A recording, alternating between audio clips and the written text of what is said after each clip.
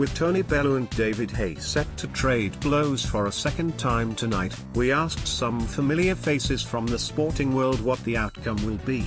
Football favourites Jamie Redknapp and Charlie Nicholas and cricket stars Nasser Hussain and David Lloyd are all in agreement. F1's Simon Lazenby and Rugby League's Barry McDermott give us in-depth views, while Will Greenwood and Brian Carney cannot see the same mistake being made twice. See what they think and go to the bottom to give us your winner. Jamie Redknapp I think we might end up getting a third fight here, if it's a good one. I've got a feeling David Haye might win this one and then hopefully we'll get that third fight, which would be great. I like them both, we've had both of them on a league of their own and I'm fond of both. But I've just got a feeling Haye will win this one. I'm going along on Saturday night and I'm looking forward to it. It's an exciting matchup. Brian Carney the upset of 2017 saw Bellew beat Haye and if he were to manage a similar result on Saturday it would mark him out as a special, special boxer. But my money is on David Haye.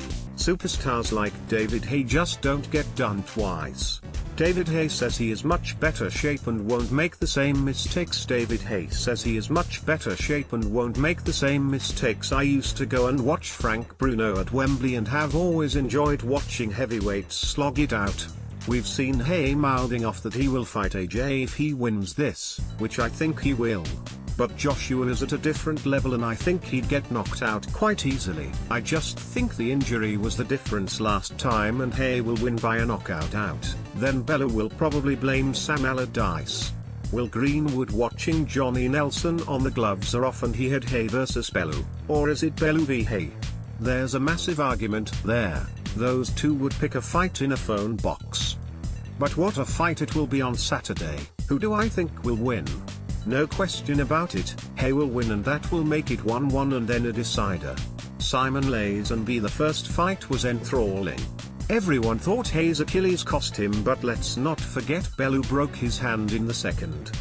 If either lose, that is it for them. Career over, so it's down to desire.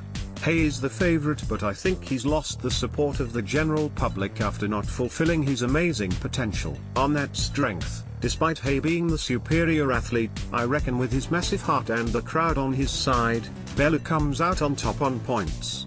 Tony Bellew says agent condition will see him win the rematch. Tony Bellew says agent condition will see him win the rematch. I love this fight first time around. I'm a big fan of Tony Bellew.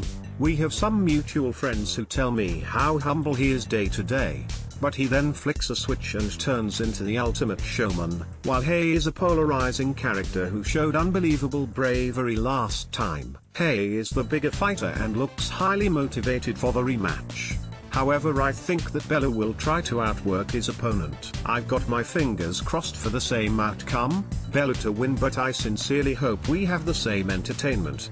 Nasser Hussain I make David Haye slight favorite, providing he doesn't let Bellew get under his skin and disrupt his game plan. Judging by this week's build-up, both fighters will find it tough to keep their emotions in check and those early rounds will be crucial. Haye needs to go out hard in the first six and get the job done by the 8th round otherwise Bellew could get back at him. David Lloyd I agree with Nasser. David Haye will look to be much more planned this time around and should have enough to come out on top. Bomber wants a slugfest. But Haymaker won't get drawn in this time around. Haye to win, for me. Watch Tony Bellew vs David Haye 2, live and exclusive from the O2, May 5th on Sky Sports Box Office. Book via your Sky remote or on